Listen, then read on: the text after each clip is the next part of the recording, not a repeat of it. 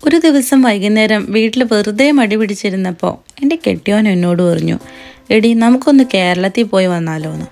ഞാൻ ചോദിച്ചു എന്നാ മനുഷ്യാനെ നിങ്ങൾക്ക് വല്ല വട്ടു വന്നോ? കേരളത്തിൽ പോവാനോ? അപ്പോൾ പുള്ളി എന്നോട് പറഞ്ഞു അല്ല കേരളത്തിൽ പോണേ എന്തിനാടി നമ്മൾ മെയിൻലി നമ്മുടെ അപ്പനെയും അമ്മേനെയും കാണാനും പിന്നെ നല്ല ഫുഡ് അടിക്കാനും? അപ്പനെയും അമ്മേനെ നീ ഡെയിലി എന്നായാലും ഇപ്പം വീഡിയോ കോൾ ചെയ്ത് കാണുന്നുണ്ടല്ലോ. എന്നാൽ നല്ല ഫുഡ് അടിക്കാൻ നിന്നെ ഞാൻ ഒരു സ്ഥലം വരെ കൊണ്ടുവന്നു പറഞ്ഞു. എന്റെ കെട്ടിയോൻ എന്നോട് അത് പറഞ്ഞപ്പോൾ ഞാൻ ഇത്രയും പ്രതീക്ഷിച്ചില്ല കേട്ടോ. കേരള കഫേ എന്നും പറഞ്ഞ് ഒരു റെസ്റ്റോറന്റ് നമ്മുടെ കാഡിഫിൽ തുടങ്ങിയായിരുന്നു. ഞങ്ങളൊഴികെ ബാക്കി എല്ലാ മലയാളികളും അവിടെ പോയെന്നാണ് എനിക്ക് തോന്നണേ. എന്നായാലും എന്റെ കെട്ടിയവൻ എന്നെ വിളിച്ചുകൊണ്ട് പോയി. എന്റെ കൂട്ടത്തിലെ എന്റെ രണ്ട് മക്കളും പിന്നെ എന്റെ അനീത്തിയും ഉണ്ടായിരുന്നു. എളുപ്പത്തിൽ എന്റെ ഇളയത് പെട്ടെന്ന് തന്നെ ഉറങ്ങിപ്പോയതുകൊണ്ട് സമാധാനമായിട്ട് ഭക്ഷണം കഴിക്കാമെന്ന് ഞാൻ അങ്ങ് ആഗ്രഹിച്ചു കേട്ടോ. അങ്ങനെ ഞങ്ങൾ ഓർഡർ ചെയ്യാൻ മെനു ഒക്കെ നോക്കി. ഞങ്ങൾക്ക് അൽ തൽക്കാലം ഇപ്പം കഴിക്കാൻ തോന്നണതെല്ലാം ഞങ്ങൾ അങ്ങോട്ട് അങ്ങ് ഓർഡർ ചെയ്തു. പൈസയൊന്നും നോക്കിയില്ല. പിന്നെ ഇവിടെ ഭയങ്കര കത്തിയൊന്നും അല്ല കേട്ടോ. അത്യാവശ്യം അഫോർഡബിൾ ആണ്. അപ്പോൾ ആദ്യം തന്നെ കിഴിപ്പൊറോട്ട വന്നു. ഹായ് കിഴിപ്പൊറോട്ടയുടെ ഒരു മണം അസാധ്യമായിരുന്നു അങ്ങ് തുറന്നപ്പം അത് കാണാനായിട്ടുള്ള ഒരു ഭംഗിയും എന്നാ രസമാണെന്നോ നല്ല പോത്തിന്റെയും നല്ല പൊറോട്ടയുടെ മണം ഒരുമിച്ച് അങ്ങോട്ടും അവിടെ മുഴുവൻ പരന്നു. കൊതി പിടിച്ച് പെട്ടെന്ന് എല്ലാവരും അവരവരുടെ പ്ലേറ്റിലേക്ക് അത് വാരിയിട്ട് തിന്നാൻ പോയി. നിർഭാഗ്യവശാൽ എനിക്ക് പൊറോട്ട മാത്രമേ തിന്നാൻ ഒക്കുള്ളൂ. എനിക്ക് ബീഫ് കഴിക്കാൻ പറ്റില്ല കേട്ടോ. സാരില്ല ഞാൻ ഒട്ടും വിട്ടു കൊടുത്തില്ല ഞാൻ നല്ല പാൽക്കപ്പയും മീനും അങ്ങോട്ട് ഓർഡർ ചെയ്തു. പഴംപൊരിയും ബീഫും കൂടെ തട്ടണമെന്നും പറഞ്ഞാണ് കേട്ടോ. എന്റെ അനിയത്തി കൂടെ ചാടിക്കേറി പോകുന്നത് പഴംപൊരിയും ബീഫും കൂടെ എന്റെ അനിയത്തി ആദ്യമായിട്ടോ കഴിച്ചു നോക്കണേ. അവൾ ഇതിനു മുമ്പ് കഴിച്ചിട്ടൊന്നുമില്ല. അടിപൊളിയാന്ന് അവൾ പറഞ്ഞു. ഞാൻ വെറും പഴംപൊരി കഴിക്കുന്നു. പിന്നെ ദേ എനിക്കുള്ള പൊറോട്ടയും പിന്നെ പെപ്പരി ചിക്കൻ. ആഹാ.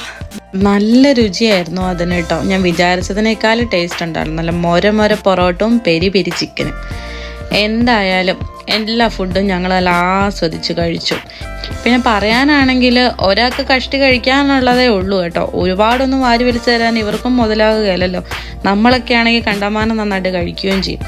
അതുകൊണ്ട് ഈ യു കെയിലെ ഒരു സ്റ്റാൻഡേർഡ് അനുസരിച്ചിട്ടാണ് ഇവരുടെ ഒരു പോർഷൻസ് വരുന്നത്. പാൽക്കപ്പ എന്നൊക്കെ പറഞ്ഞാൽ ദിടീന്നങ്ങ് തീർന്നു കേട്ടോ. അതുകൊണ്ടാണ് ഞങ്ങൾ മൂന്നാൽ വെറൈറ്റി ഐറ്റംസ് അങ്ങ് ഓർഡർ ചെയ്തത്. അതിന്റെ ഇടയിൽ എന്റെ കുഞ്ഞു സാറാമ്മ എഴുന്നേറ്റു. എന്നാലും സാരയില്ല എന്നെ അള്ളി പിടിച്ചിരിക്കണ കാരണം ചിക്കൻ കടി കടിക്കാൻ വലിയ പ്രശ്നം ഉണ്ടായില്ല. പിന്നെ എല്ലാവരും കൂടെ കൂടി എല്ലാം കൂടെ വലിച്ചു വാരി എല്ലാം അങ്ങ് കഴിച്ചു കേട്ടോ. എന്നായാലും കൊള്ളായിരുന്നു. ഇവിടെ വന്നില്ലെങ്കിൽ നഷ്ടമായി പോയേനെന്ന് എനിക്ക് അന്ന് തോന്നി. മടി പിടിച്ചിരിക്കാൻ തോന്നിയതും പുള്ളിക്കാരൻ എന്നോട് ചോദിക്കാൻ തോന്നിയതും എന്തായാലും ഇങ്ങോട്ട് വരാൻ തോന്നിയതൊക്കെ നല്ലതിന്. അതെല്ലാം കഴിഞ്ഞ് പിന്നെ എല്ലാവരും പ്ലേറ്റിൽ നിന്ന് അങ്ങോട്ടും ഇങ്ങോട്ടും കൈയിട്ട് വരാനും തുടങ്ങി കേട്ടോ കാരണം എല്ലാവരുടെ അങ്ങോട്ടും ഇങ്ങോട്ടും പരസ്പരം ടേസ്റ്റ് ചെയ്യണമല്ലോ. അതുകൊണ്ട്.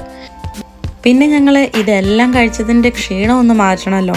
അതിന് വേണ്ടിയിട്ട് രണ്ട് മൊജീറ്റോകൾ ഓർഡർ ചെയ്തിട്ട് വെയിറ്റ് ചെയ്തിരിക്കുകയാണ് കേട്ടോ ഇവരുടെ മെനുവിൽ അതിന് മോക്ടെയിൽ എന്നാണ് കേട്ടോ പറയണത്.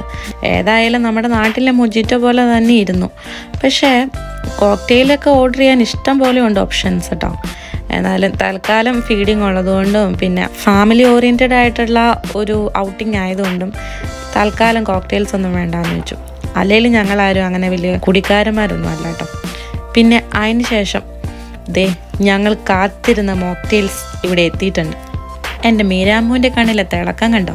അതിന്റെ കാരണം എന്നാണെന്നറിഞ്ഞോ ഇതിന്റെ പ്രസന്റേഷൻ തന്നെ അപാരമാണ് കേട്ടോ കണ്ടാൽ തന്നെ നമുക്കൊന്ന് ആ ഐസ് കട്ടകളൊക്കെ കടിച്ച് മുറിച്ചങ്ങ് തിന്നിട്ട് എടുത്തങ്ങ് കുടിക്കാൻ തോന്നും. പക്ഷെ അത് പോസിബിൾ അല്ലല്ലോ. എന്നാലും ടേസ്റ്റ് ആയിരുന്നു കേട്ടോ. പെട്ടെന്ന് സ്വർഗത്തിൽ പോകാത്തവർക്ക് ഒരു നിമിഷം വേഗം ഒന്ന് പോയിട്ട് വരാൻ ഈ ഡ്രിങ്ക്സ് ഒരു നല്ല ഓപ്ഷനാണ് കേട്ടോ. എന്തായാലും ഞങ്ങൾ അന്നത്തെ ഔട്ടിംഗ് നന്നായിട്ട് എൻജോയ് ചെയ്തു. ഈ വീഡിയോ നിങ്ങളും എൻജോയ് ചെയ്തെന്ന് ഞാൻ വിചാരിക്കുന്നു. See you again with another video അതുവരെ ടാറ്റാ.